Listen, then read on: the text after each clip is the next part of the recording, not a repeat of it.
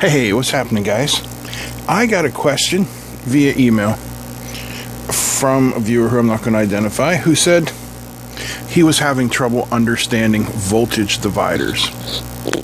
And could I help him, you know, make it easier to understand? So I'm going to try because voltage dividers are probably one of the three core circuits in electronics. All right, there's nothing hard about it, there's nothing magical about it. Even the formula itself is simple. Your voltage out is equal to your voltage in times R2 over R1 plus R2. That's the math end of it. We'll get to the practical end of it here in a minute that I think makes it easier to understand. But why do I say it's one of the core circuits? Well, because it's used everywhere. Let's say, for instance, you have an op amp circuit. And you need a reference voltage here for some type of comparator. And you know, you've got 12 volts, you've got uh, 0 volts or ground down here. So let's say you need 6 volts. Well, what you can do for your comparator is you can make a voltage divider like that. Now you have 6 volts come in here and you can put your input here and your output there. This same same holds true when we're dealing with uh, transistors. So if, if we're going to bias a transistor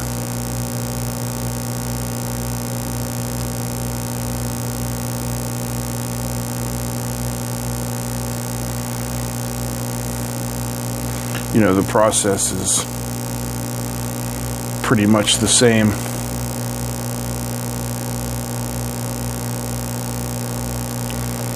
Then we have our incoming signal here, out here. Of course, you know, we would have resistors there and there too, but just getting to the point of that. Okay, enough with the theory. Let's get down to the the demonstration I think makes it easier to see. Okay, you can see here power supply set for 10 volts, maximum 200 milliamps, and it is now on. All right, so here we have one, two, three, four, five separate voltage dividers set up. And we're going to bring in a meter. In this case, today's flavor of meter is the UNI-T. No, that's not a UNI-T. That's an Aneng AN8009. Nice little meter. And we'll be using the Fluke TL74 leads. Why? I don't know. I just feel like it today. So, first, let's measure our input voltage.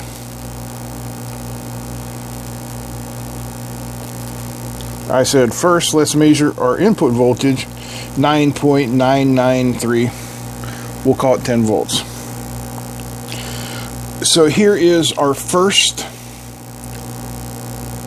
voltage divider. These are two 1K resistors. So we should have half of our input voltage of 10 volts. So when we probe here, we should get 5 volts. 4.991. Close enough. Now, here we have two 10K resistors. Again, it's only about the proportion between R1 and R2. The values really don't mean anything when they're equal. Well, it doesn't mean anything either. It's proportional. So, we should get 5 volts. Close enough. The values do mean something. If I don't say this, I'm going to get all kind of all kind of mail. That that'll be dealing with current, and that's that's down the line. For our our purposes of demonstrating how the voltage divider circuit works, the values don't matter. It's proportions. So 1K, 10K, both both re, uh, result in a one half voltage divider. Now in this case, we have 10K as R1 and 1K as R2. Take a second, review the formula if you need to. What will our voltage be? Well, it's going to be a 10 to 1 ratio, so we should get about 1 volt here. 910 millivolts. Yeah, close enough. The reason it's close enough and it's not exactly 1 volt is because this is probably not exactly 10K and this is probably not exactly 1K. We have to deal with tolerances. Nothing is ever perfect. Okay, so this is the mirror. We have 1K on top, 10K on the bottom.